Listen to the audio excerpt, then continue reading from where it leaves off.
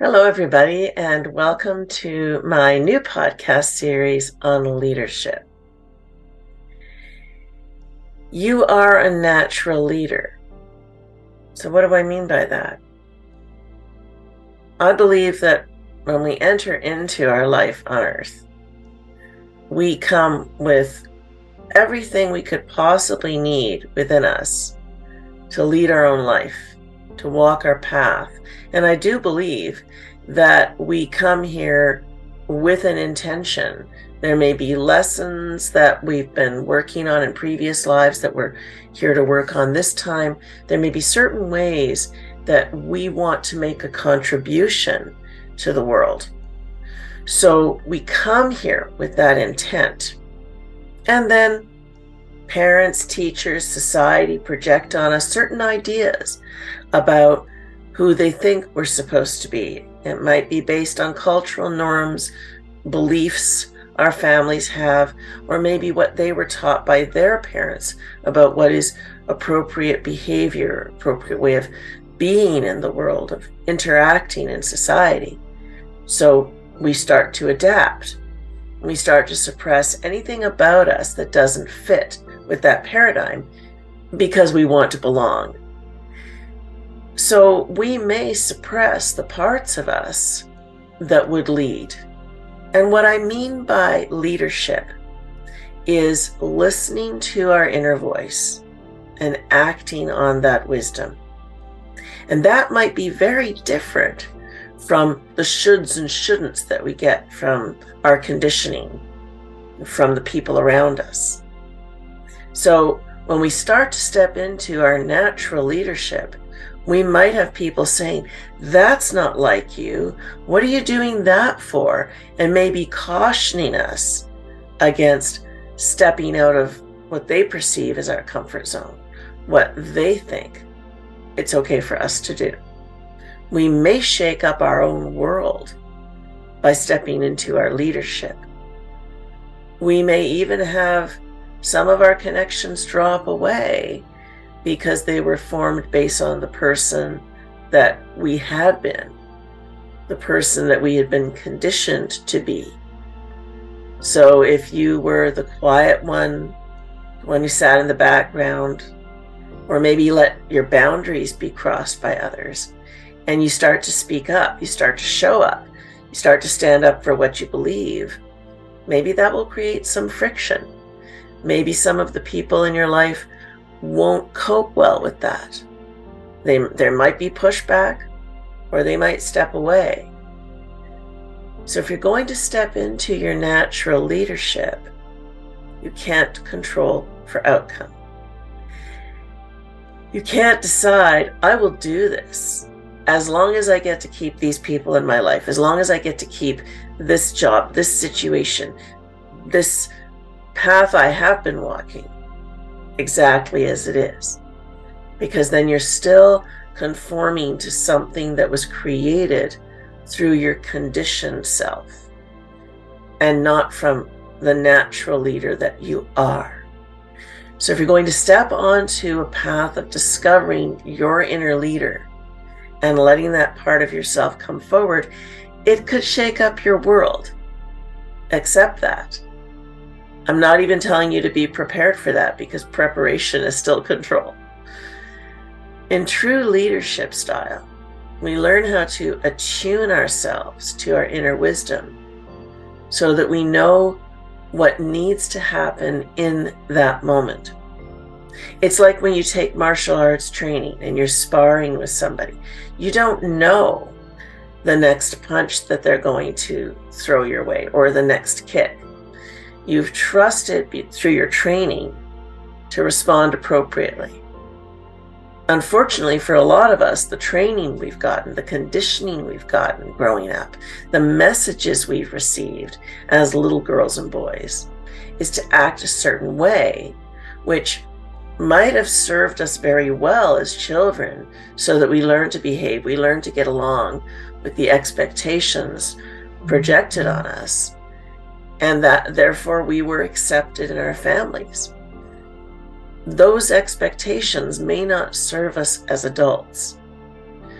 We may not do very well in a situation like that. I remember many years ago being at a folk festival and seeing this young girl up on stage performing a song for her family's culture. And she had this big smile on her face. She was doing all the movements and smiling along with the song and, and lip syncing to the words. When suddenly the recording cut out and her smile dropped away and she looked really angry. It was such an interesting contrast between the character she was playing with this big smile and all these movements. And all of a sudden, that all dropped away and this anger came up. She was probably embarrassed. She was probably uncomfortable. She was up there to play a role and the role had dropped away. What was behind it was the anger, maybe the shame, the frustration of now being on stage without everything required for her to play that role. How often are we playing roles? And behind that is our turmoil that we are not looking at or even trying not to look at so that we can play that role we've been conditioned to operate through.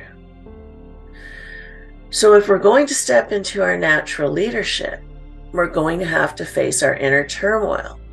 We're going to have to look underneath our conditioning and work through all those patterns that we were taught. If you just do this, you won't have to face that.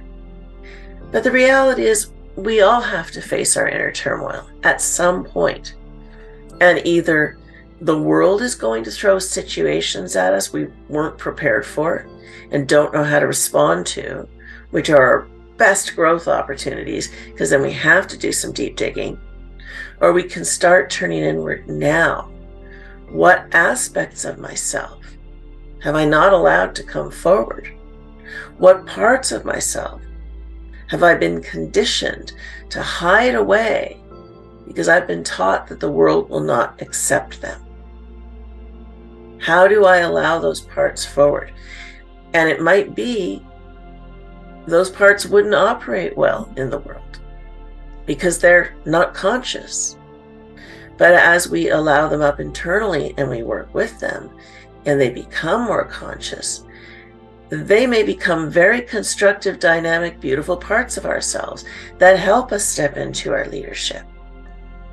So if you've been taught to take a back seat let others speak, be polite.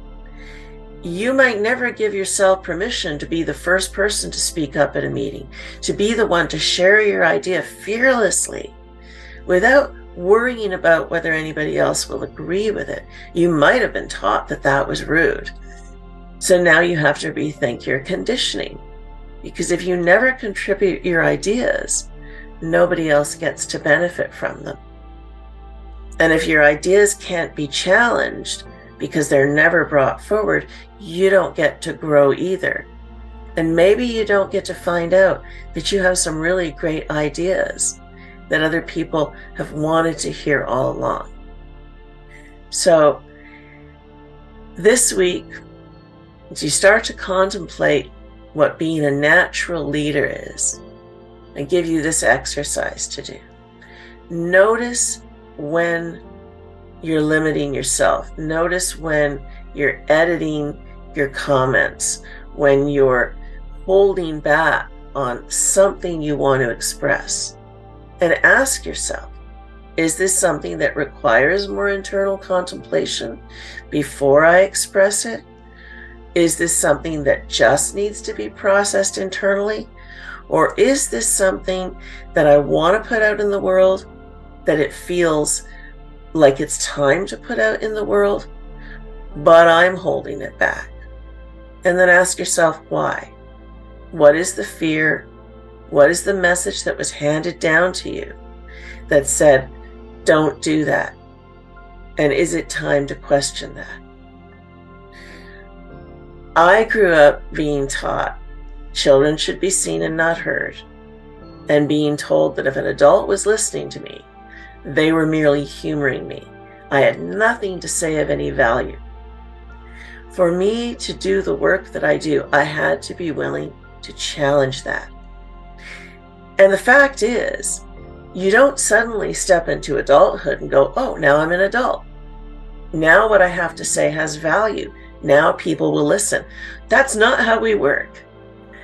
We still have those parts of us inside that still feel five years old or younger, that still worry that we're crossing a line when we step into our natural way of being. We need to work with our inner children to help them realize you're in an adult body now. You have agency. You can make other choices. And I have a lot of techniques that I use directly with clients to help them access those parts, to help those parts become conscious and make those new choices. So don't worry if that's not something that you know how to do right now. If you are struggling with those internal patterns, feel free to reach out to me at and we can connect and I can help you nurture those parts of you that have been waiting in the wings all these years to step out on stage. So take some time this week. Notice when you're holding yourself back. Ask yourself why. That's a good start to being at least aware of the areas where you could come out on stage a little more. You could speak up. You could take the chance that maybe that fear of rejection is just within yourself. You could start to have a new perspective on this.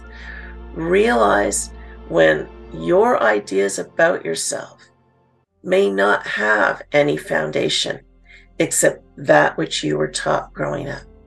It may not be relevant in your world today. I look forward to seeing you next week. Thank you so much for tuning in my podcast.